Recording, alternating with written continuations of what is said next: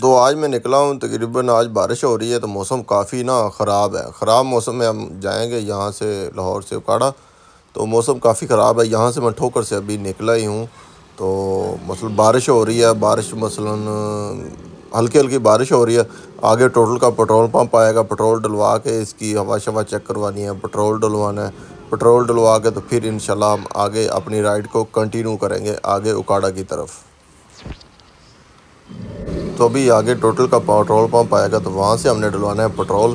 Petrol میں نے ڈلوانا ہے ہائی اکٹن تو ٹوٹل کا ہائی اکٹن ذرا مثلا زیادہ ایفیشنسی ہوتا ہے تو میں نے وہ ٹوٹل کا ہائی اکٹن ڈلواتا ہوں۔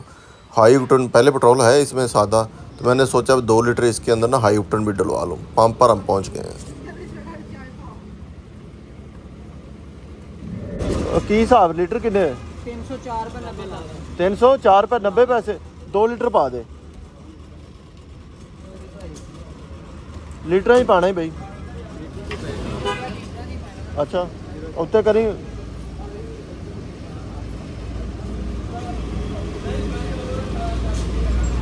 پٹرول ٹھیک ہوں ویخ لیں میں ریف تو پوا میں اج تجربہ کر لگا اتوں کا ہاں ہاں کیا میں پھڑ پانچ سو چھ سو لو جناب دس اور کیا ہونا لو جی پٹرول ہم نے ڈلوا لیا ہے تو اب ہوا چیک کروانی ہے بس ہوا چیک کروا کے تو پھر ہم نے آگے نکلنا ہے اب آ چیک کریں یار ادھر ویلا حال کی ہو گیا ہالے تھوڑی جی موٹر سائیکل چلائی اتوں اتنے آیا ڈیفینس اتنے آیا تو حال کی ہو گیا تو پورے رستے ایویں ہی حال ہونا اج مزہ آنا ہے پہلے ویخ لی کنی اندر اگلے میں کھولا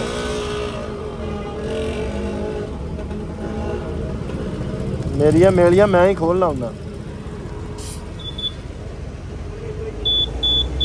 پوری اندر ہاں کیا بات ہے یار اس ٹائر چ واہ جڑی نا جدوں دی پوائی ہے پوری ہے اج تک اندر واہ نہیں نکلی سات اٹھ مہینے ہو گئے نے لو جی بارش ادھر ویل ہونی شروع ہو گئی اسی ہوں اتوں نکلن لگے ہاں اللہ دا نام لے کے نکلنے ہاں اللہ صلی علی محمد ولا علیہ محمد انکما صلی تعالی ابراہیم ولا علیہ ابراہیم انکا حمید مجید اللہم بارک علی محمد ولا علیہ محمد انکما بارک تعالی ابراہیم ولا علیہ ابراہیم انکا حمید مجید یا میرے مالک یا میرے اللہ تیرے نام دا آسرا ہی اے ویلا کیریاں والا کی کرے گا اج میرے نال ہے یہ وڈے وڈے ٹرالے بارش اج رائڈ دا انجوائے کرنا چسکا آئے گا اج نا رائڈ دا چسکا آئے گا اج بارش دے وچ اللہ نے نا بارش وچ جان دا موقع دیتا ہے تے بارش وچ اج رائڈ کرنی ہے تے جانا لاہور تو کاڑا ہے ٹھوکر تو ہن میں نے ابھی پھول نگر کراس کیا ہے، پھول نگر مطلب بھائی پھر بھائی پھر کراس کیا ہے۔ تو میں نے یار بہت ساری موٹر سائیکلیں چلائی ہیں، لیکن جو مزہ مجھے اس موٹر سائیکل نے دیا ہے نا، وہ مطلب کسی موٹر سائیکل نے ایسا مزہ نہیں مجھے دیا۔ اتنا مزہ کراتی ہے، اتنا مزہ آتا ہے اس کو چلاتے ہوئے۔ کمال کی موٹر سائیکل، ملائی ہے یہ۔ ملائی ورگی موٹر سائیکل ہے۔ کیا کمال کی موٹر سائیکل ہے۔ تو اس کی رائڈ بڑی کمفرٹیبل ہوتی ہے اسموتھ رائڈ ہوتی ہے، بہترین رائڈ ہوتی ہے۔ تو ابھی میں یہاں پر پہنچ گیا ہوں، بھائی پھر میں نے کراس کر لیا ہے۔ تو یہاں پر ابھی میں آپ دیکھ رہے ہیں میری کتنی سپیڈ ہے۔ تو میں اس سپیڈ کے حساب سے جا رہا ہوں۔ جی ٹی روڈ پہ سپیڈ آپ مثلاً زیادہ اسی، نبے، سو، اتنی رکھیں تو اتنی سپیڈ بالکل مثلاً ٹھیک ہوتی ہے، زبردست ہوتی ہے۔ اتنی سپیڈ پہ آپ موٹر سائیکل چلائیں، کیونکہ اپنے آپ کو انسان نے سیف بھی رکھنا ہوتا ہے۔ کیونکہ ادھر ٹریفک مثلاً ٹریفک بھی ہوتی ہے، پھر جانور بھی آ جاتے ہیں آگے۔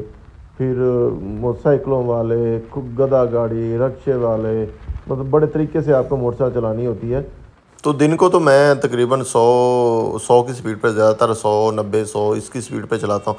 اور رات کو میں نائٹ کو آؤں تو میں ستر اسی سے ابو نہیں جاتا، کیونکہ اچانک آگے چیز آ جائے، کوئی تو بریک لگانی نہ مشکل ہو جاتی ہے۔ کیونکہ رات کو مثلا زیادہ دور تک آپ کو نظر بھی نہیں آتا۔ تو ڈے ٹائم میں تقریباً سو پہ نبے پہ اسی، نبے سو، اسی، نبے سو، اس پر یہ اس کو چلاتا ہوں، اس موٹر سائیکل کو۔ تو یہ سو آرام سے چلی جاتی ہے سو پہ، تو اس کے بعد بھی ایک سو پانچ پہ یہ آرام سے چلی جاتی ہے۔ تو میں اپنی اسپیڈ کو مینٹین کر کے رکھتا ہوں تاکہ مثلا آگے مثلا کتنا فاصلہ رکھنا ہے کوئی چیز۔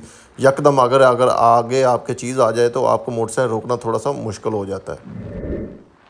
اچھا یار، میں آپ کو بتا دوں، میں یہ والی موٹر سائیکل کبھی آف روڈ نہیں لے کے گیا۔ تو کبھی موقع ملا تو آف روڈ لے کے جاؤں گا۔ ابھی ادھر مدری کزنوں کی فصلیں وغیرہ ہیں، ادھر جائیں گے ایک دن آف روڈ پہ۔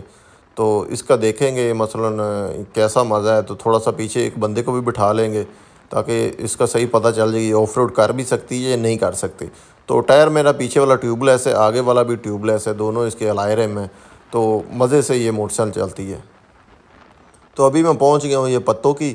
میرے لیفٹ پر بھی نرسری ہیں اور میرے رائٹ پر بھی نرسری ہیں، تو یہ مثلا ایشیا کی سب سے بڑی جو نرسری ہوتی ہے نا، جو پودے وغیرہ، ایشیا کے سب سے بڑے پلانٹ ہیں، پودوں کے نا پلانٹ ہیں بڑی بڑی نرسریز بنی ہوئی ہیں، بہت بڑی بڑی نرسریز۔ اس کے مطلب اندر آگے جائیں میں کبھی موقع ملا تو اندر جا کے میں ویڈیو بناؤں گا اس کی۔ تو اس کے کبھی آگے جائیں تو بڑی بڑی نرسریز ہیں، بڑی بڑی نرسریز ہیں، میرے لیفٹ پر بھی اور رائٹ پر رائٹ پر بھی۔ تو یہ ابھی میں پہنچ گیا ہوں پتوں کی ٹول پلازے پہ۔ تو ابھی یہاں سے ہم ٹول پلازا کراس کر گئے تو آگے ہم آگے نکلیں گے اپنے گھر کی طرف، ٹھیک ہے؟ اچھا یار، بہت سارے بھائی پوچھتے ہیں یار، آپ اتنی سٹیبل اور اتنی ویڈیو کیسے بنا لیتے ہو؟ بھائی میں اپنے موبائل سے مثلا ویڈیو بناتا ہوں، اپنے موبائل سے شوٹ کرتا ہوں، اپنے موبائل سے ہی اس کی ایڈٹ کرتا ہوں اور اپنے موبائل سے ہی یوٹیوب پر اپلوڈ کرتا ہوں۔ تو بس یار، ایسے شوق سے بناتا رہتا ہوں، تو بس کوئی نہ کوئی مثلا بس انسان کو کچھ نہ کچھ مثلا کرنے کا ہوتا ہے نا، تو مجھے بھی ایسے شوق پڑا ہوا کچھ نہ کچھ کرنے کا۔ تو یہ والی گاڑی مثلا کافی دیر سے مثلا میرے ساتھ ساتھ آ رہی ہے۔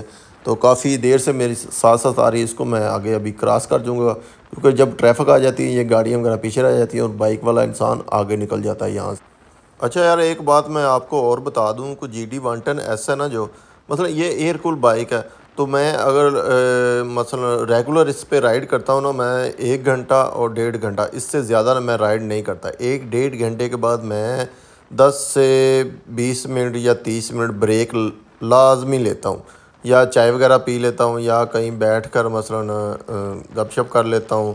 تو یا پھر کہیں نہ کہیں کسی مثلا کوئی تھوڑا بہت کھا پی لیا، ایسے مثلا کوئی آدھا گھنٹہ، بیس منٹ، تیس منٹ اسپینڈ کر لیتا ہوں آرام سے۔ ٹھیک ہے؟ تو اس کو بھی ریسٹ مل جاتی ہے Suzuki G T one ten S کو ریسٹ بھی مل جاتی ہے۔ کیونکہ ایئر کول انجن ہے ایئر کول انجن پہ آپ اگر ریگولر آپ اس کو ایک ہی اسپیڈ پر چلائیں گے تو پھر بعد میں یہ مسئلہ کرنا شروع ہو جاتا ہے۔ کیونکہ اس کا انجن ایئر کول ہے۔ اور ہاں جس بندے نے Suzuki G D water S رکھی ہوئی نا، تو جس کوئی بھی آپ کا دوست ہے، قریبی ہے کوئی بھی ہے، جس کے پاس جس سزوکی جی ڈی وانٹر کبھی نہ اس کی رائڈ لیں، اس کو چلا کے دیکھیں۔ تو آپ کو پورا مزہ دے گی۔ تو آپ بھی کہیں گے، یار، یہ موٹر سائیکل ہونی چاہیے۔ اس کی سپیڈ بھی بڑی زبردست ابھی ہم پہنچ گئے ہیں، یہ والا پتوں کی ٹول پلازا وہ میرے سامنے نظر آ گیا مجھے۔ تو پتوں کی ٹول پلازا آ گیا تو ہم نے ٹول پلازا نہیں دینا، ہم نے ایسے ہی آگے گزر جانا ہے ٹھیک ہے؟ کیونکہ ہم ہیں موٹر سائیکل کے اوپر۔ پتوں کی ٹول پلازا یہاں سے ہم کراس کریں گے، تو یہاں پر گاڑیاں وغیرہ رک جاتی ہیں۔ تو ہماری تو بائک کا بھائی سائڈ سوٹ سے ادھر ادھر سے نکل نکل جاتی ہے۔ تو بائک کو رکنا بھی نہیں پڑتا، نہ ٹول دینا پڑتا ہے۔ تو اپنا مثلا آرام سے گزر جاتی ہے۔ یہ گورنمنٹ کی گاڑی گزری ہے اس بھائی والے نے اس کو رستہ اس کا وہ آگے سے اٹھایا، رستہ دیا، کیونکہ اس نے بغیر ٹول کے گزرنا تھا، وہ گزر گئی آرام سے۔ یہ موٹر وے والے کھڑے ہوئے، چلان پہ چلان، دھڑا دھڑ کیے جا رہے ہیں لوگوں کے۔ اچھا یار، ایک بات اور ہے، وہ آپ نے نوٹ کرنی ہے۔ جب آپ موٹر سائیکل پہ جا رہے ہوں گے نا، تھوڑی سی زیادہ سپیڈ پہ رہو آگے روڈ بریکر آ جائے، تو آپ نے بریک نہیں لگانی۔ تو آپ نے کرنا یہ ہے کہ موٹر سائیکل کے اوپر تھوڑا سا آپ نے کھڑے ہو جانا ہے۔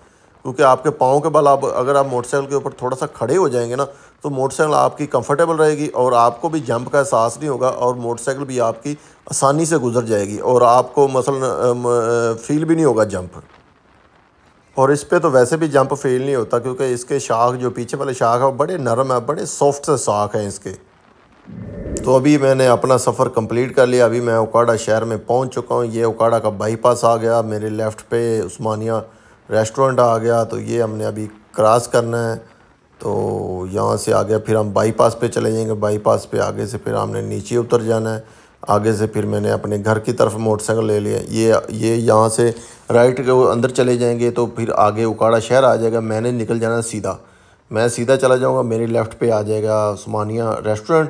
وہ میں نے کراس کروں گا کروں گا بائک پاس کے اوپر سے، تو وہ آگے میں آئی لو اوکاڑا لکھا ہوگا، تو میں سیدھا آگے نکل جاؤں گا۔ تو اچھا یار میں آپ کو بتا دوں کہ میری جو رائڈ ہوتی ہے نا، یہ ون ففٹی کلو میٹر کی ہوتی ہے۔ تو ون تھرٹی سے لے کر ون ففٹی کلو میٹر کی رائڈ ہوتی ہے۔ کبھی میں نے پیچھے سے ڈی ایچ سے آنا ہوتا ہے، فیز فائیو سے۔ تو کبھی میں نے آگے سے وہ ٹھوکر سے آنا ہوتا ہے۔ تو اس حساب سے میں نے وہ آنا جانا ہوتا ہے۔ تو وہ ون تھرٹی سے ون ففٹی تک میری جو رائڈ ہے نا، یہ بن جاتی ہے۔ تو میں ایک دفعہ بیچ میں ریسٹ لیتا ہوں پندرہ سے بیس منٹ کی۔ اس کے بعد پھر میں اپنی رائڈ کو مثلا کمپلیٹ گھر جا کے بریک لگاتا ہوں۔ پہلے میں آتا تھا لوکل نا، تو گاڑیوں کا انتظار کرنا سٹاپ پر کھڑے رہنا آفس سے ٹھوکر آنا تقریباً میرے نا وہ ٹائم کا مثلا پانچ سے چھ گھنٹے ایسے ہی مثلا گزر جاتے۔ اب میں پہنچ جاتا ہوں دو سے ڈھائی گھنٹے میں، آرام سے پہنچ جاتا ہوں گھر دو سے ڈھائی گھنٹے میں۔ مطلب یار اپنے مزے سے آتا ہوں، مزے سے جاتا ہوں، اپنی رائڈ کو انجوائے کرتا ہوں۔ تو تھوڑی بہت ویڈیو بھی بنا لیتا ہوں۔ اگر ویڈیو میری اچھی آپ کو لگ رہی ہے تو پلیز ویڈیو کو لائک کر دیں اور چینل کو سبسکرائب کر دیں۔ تو ویڈیو ہم یہاں پہ کریں گے ختم۔ اوکے جی اللہ حافظ۔ دعا یاد رکھے جی لرن ویڈیو رضوان ولاگس